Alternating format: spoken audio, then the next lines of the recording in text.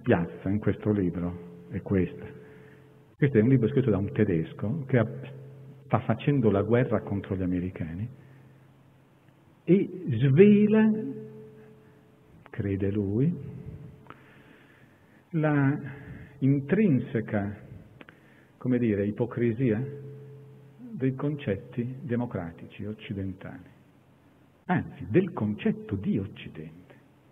Per questo questo libro, nazista, para-nazista, è il libro preferito di tutti i critici delle amministrazioni USA degli ultimi anni.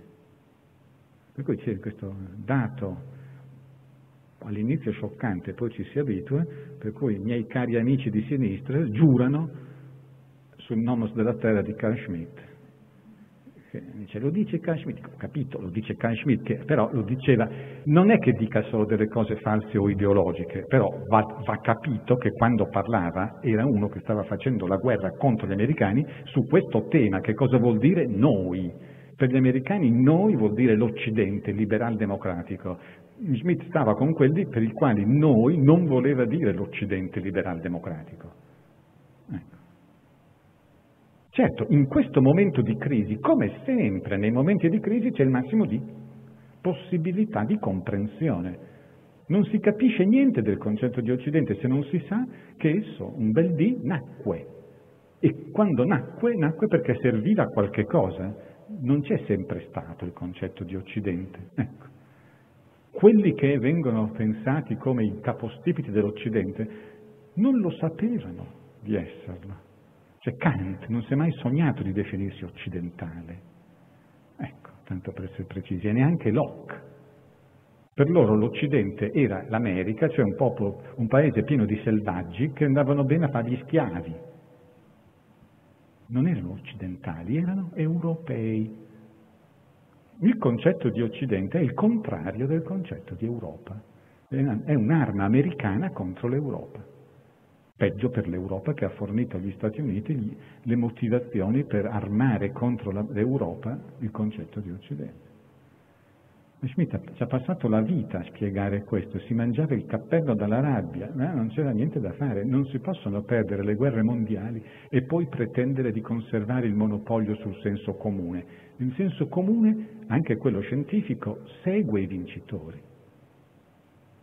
C'è niente da fare l'Europa ha perso e l'Occidente ha vinto, ma l'Occidente è una dottrina americana, la dottrina dell'emisfero occidentale, di Monroe, cioè siamo agli anni 30 del 1800 ed è una dottrina assolutamente difensiva, grazie alla quale gli Stati Uniti istituiscono un'area vietata alla intrusione delle potenze europee, le quali potenze europee, dopo avere fatto fuori Napoleone, stanno tentando di restaurare l'ancien regime.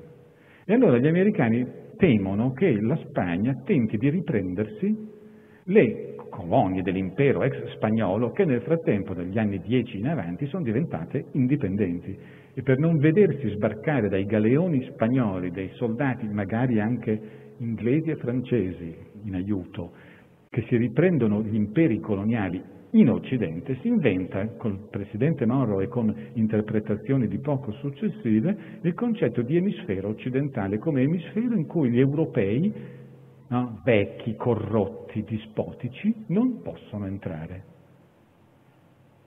La storia dell'emisfero occidentale è la storia dello spostamento di una linea che a un certo punto passa, entra a metà oceano Atlantico, poi si sposta, sostanzialmente segue segue Eisenhower, si sposta e poi va a sbattere contro i russi che arrivano dall'altra parte.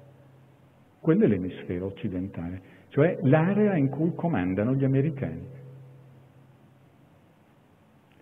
L'area in cui tutto ciò che avviene viene valutato dagli Stati Uniti come qualcosa che deve essere interpretato alla luce degli interessi americani.